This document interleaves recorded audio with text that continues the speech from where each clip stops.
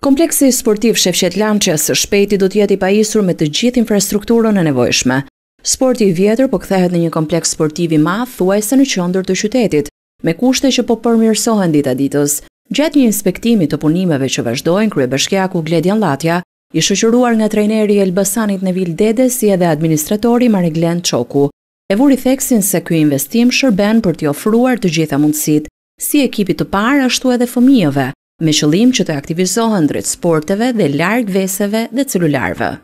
Tapeti ekzistues që ishte, pavarësisht se kishte mbi 11 vjet, 12 vjet që ishte bërë, prap nuk ishte nuk nuk e nxorëm jashtë përdorimit, por e sistemuam për shkollat, dhe aty ku kishim terrenet sportive, Ndërkohë që këtu duhet një standard tjetër, pasi edhe edhe ekipi vet, ekipi i parë kur bën stërvitjet sipas kërkesave tuaja, duhet të kishte një tjetër standard të të fushës, por edhe për pse jo të certifikojmë dy fusha në Elbasan. Përveç stadiumit që e kemi të certifikuar që është edhe shtëpia e e Elbasanit e futbollit, patjetër edhe sporti i vjetër të marrë certifikimin e saj për të bërë ndeshje. Elbasani po kthehet aty ku ka qenë, atë besimin që kishim tek ekipi, tashmë e ka gjithë qyteti, nuk e kishim vetëm ne një grup një grup iniciator që e kishim e kishim dëshirën futbolli të ecë përpara sot është i prekshëm nga të gjithë.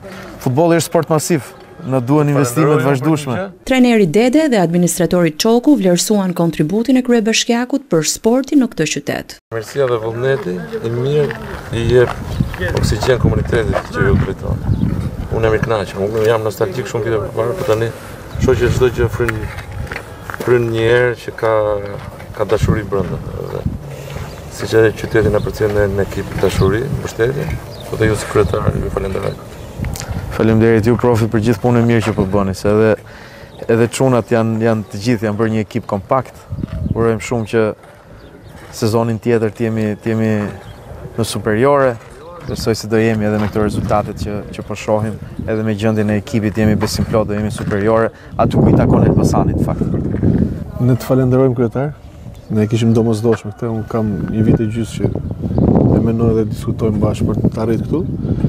Falenderojmë shumë për këtë investimin dhe siç the vet ne presim akoma investime të tjera se ka të nevojshme sporti këtu, kështu që Gjithsesi kam shumë besim dhe e kam pas dhe vazhdoj ta kem shumë më të madh besimin te ju. Bashkia e Elbasanit po i kushton një vëmendje të veçantë sportit në këtë qytet, duke i mëshuar shumë përmirësimit të infrastrukturës.